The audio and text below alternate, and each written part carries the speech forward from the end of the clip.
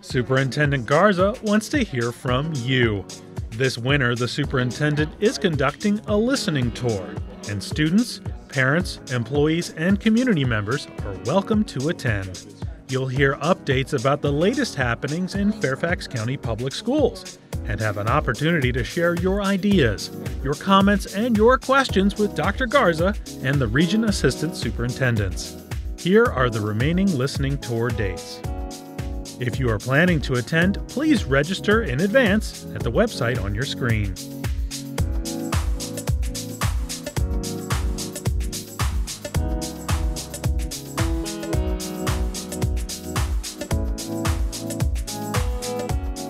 Meet the superintendent and have your voice heard.